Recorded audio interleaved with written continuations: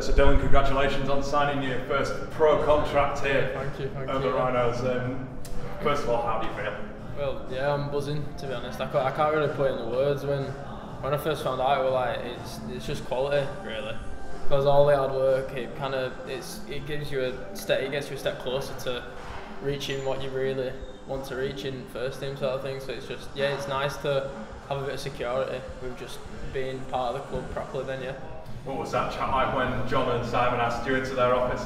Yeah, I, to start, I just walked through the door actually, and then John caught me and was like, "Oh yeah, can you come up to my office?" And I was like, I didn't really suspect out really. I thought he was just gonna speak about a game or something, and, or, or about training or something specific. But yeah, then then I saw all three of them like smiled at me as I walked in, and I was like, yeah, it caught me off guard a bit. But yeah, I, wa- I was buzzing. Yeah, I couldn't put it in words really. Yeah. And you know the boys are having a, a great season so far. In the under 18s unbeaten. Uh, for yourself, I think you played the majority of those games. Yeah. Um, how do you think that's really sort of contributed and helped you, you know, show the coaches that you earned a- or that you earn a contract like this? Well, yeah, I think it's it's helped just because I've I've played a few positions actually, but it's helped to kind of.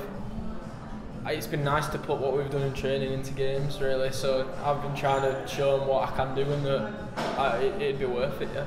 And especially the last few games, there's been really tough games against Huddersfield and uh, Castleford. That's been undermanned mainly. Yeah. But it's allowed you to play a couple of positions, a bit of fullback, a bit of centre, a bit of halfback. Do you see Yeah. yourself as that utility player going forward, or would you quite like to cement down a position? I don't mind really. I just love playing. Yeah, I, I, I'm I'm enjoying all of them to be honest, in different ways because the different you need to do very different stuff for different positions, don't you? So it's yeah, it's just nice getting game time really, regardless of what position I'm in. And how proud were your family when they got to know? Yeah, they were. Yeah, they were all chuffed. Yeah, they were really happy.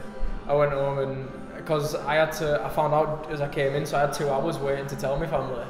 So it were, yeah, they were buzzing. They were just as buzzing as me, if not more. Yeah, they were quality. So, so we represented Siddal here. That must be something you're really proud of. Uh, being in a, a, a path of a couple of players. You look at Yeah. likes of Tom Holroyd, the currently the first team to be coming through that community club.